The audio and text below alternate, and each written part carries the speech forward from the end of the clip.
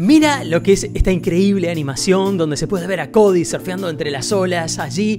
DreamWorks ha hecho un trabajo genial de animación. ¿Y cuál sería el desafío si tú tendrías que hacer esta escena? Hoy lo veremos aquí en el Club de la Animación, también viendo al último campeón de surf. Antes que nada te cuento una pequeña historia. Estaba en el 2019 viendo la Copa América, viendo ahí los partidos de fútbol y mi hijo me dice, vamos a ver el Campeonato Mundial de Surf, vamos, vamos a Sacuarema. Allí fuimos, era increíble el estadio, la gente estaba como enfervorizada y había alguien que estaba haciendo maravilla arriba de las olas. Ese señor se llamaba Felipe Toledo. Este surfista brasileño es increíble lo que hace, la movilidad que tiene y todo, realmente me sorprendió. Desde ahí en adelante me hice realmente fan y seguidor de Felipe Toledo hasta que en el día de hoy se proclamó campeón del mundo de surf. Por fin lo logró y podemos aprender mucho de Felipe mirando y observando atentamente cómo son sus movimientos. Él tiene una particularidad única y esto lo podemos aplicar a cualquier tipo de animación, el estudiar a alguien que es un gran genio en lo que hace. Vamos a ver un poco.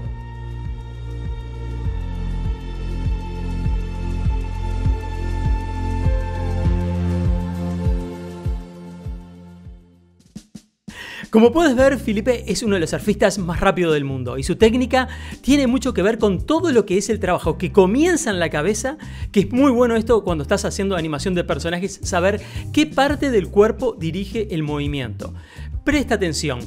En el caso de él, quien comienza el movimiento es la cabeza. Él mira, observa hacia dónde va a ser el giro y luego comienza la rotación, que comienza en la parte superior y todo eso se transfiere hacia las caderas y luego hacia los pies que hacen girar la tabla.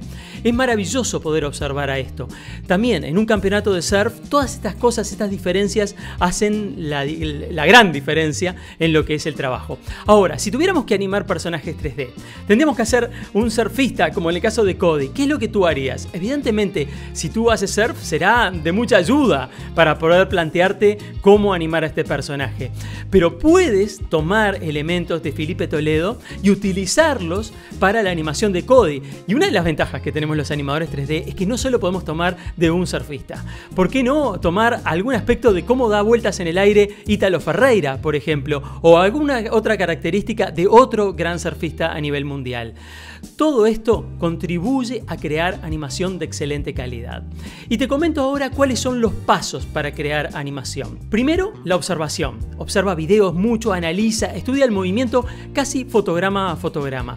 Capta las poses principales, tomando en cuenta los movimientos máximos a veces, por ejemplo, de las caderas, de los pies si hubiera, o también de las partes altas del cuerpo o de la cabeza.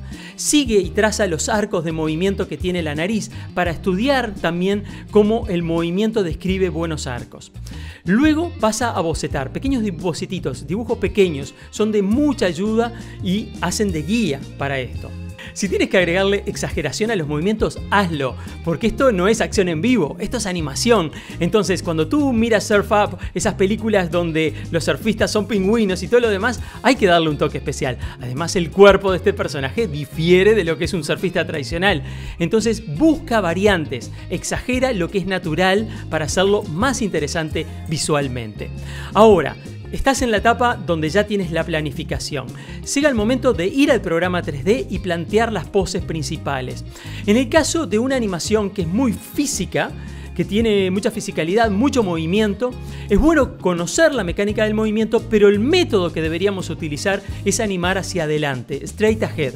Es uno de los principios de animación, ¿no? El pose a pose, animar con poses o animar hacia adelante. Entonces, lo que te propongo es hacer un método straight ahead, hacia adelante de animación. Cada dos o tres fotogramas ir creando poses de tu personaje y que vayan llevando el movimiento, que fluyan. Hay que buscar ese fluir de movimientos que hace que la animación sea natural. Una vez que tienes eso, bueno, es bueno pasar a splines. Las splines son las curvas que utilizamos en animación en el editor de curvas. Todos los programas 3D, Blender, Maya, 3D Max, todos utilizan ese mismo formato de trabajo en las curvas para pasar a splines. Ahí puedes ajustar el timing, otro de los principios de animación que hemos visto. Tienes que ajustar el tiempo de la animación. Hay veces hay acciones que te pueden quedar un poquito más lentas o que se sienten que están por debajo del agua cuando deberían estar por encima del agua, ¿no? Sintiendo la gravedad y todo. Bueno, ese trabajo hay que hacerlo a través del timing, ajuste de tiempos. Hay que trabajar también con la acción superpuesta, o sea que cuando el personaje realiza un movimiento, piensa, por ejemplo, qué llega primero, qué llega después y todo eso cómo confluye en la finalización del movimiento. Asimismo, ten presente desde entrada un buen staging de la toma. ¿Qué es el staging? El staging es buscar un buen ángulo de cámara para mostrar la acción.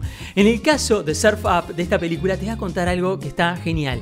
Esta película se hizo con cámara en vivo, o sea, se tomó eh, a, un camarógrafo, se le puso una cámara e iba filmando la animación que ya estaba hecha. O sea, se capturó el movimiento del camarógrafo moviéndose. Entonces es muy natural los movimientos de cámara. La idea es crear un documental, algo que se sienta vivo y la cámara en movimiento es parte de ello. Así que el staging, en este caso utilizando cámaras en movimiento natural, es muy interesante. El control del staging a veces es más difícil en este tipo de animación donde la cámara se mueve mucho pero es una característica que luce muy bien en esta película. Como puedes ver, se puede aprender mucho de un campeón de surf y, por qué no, de tus propios movimientos. Analiza las acciones, ten todo esto muy presente para cuando vayas a crear animación de calidad. Recuerda, si quieres dar un paso más en lo que es tu animación, puedes hacer el diplomado de Animation Gym, un año intensivo donde animadores profesionales de grandes estudios guían tu trabajo paso a paso. Es un año para graduarte como animador profesional 3D. Te invito en Animation John Gym están los cursos y por supuesto sígueme aquí en el Club de la Animación. Te dejo otros videos para aquí para que puedas ver, seguirnos y darnos un like y comentar. Todo eso lo vas a encontrar en la descripción de este video. Nos vemos hacia el infinito y más allá.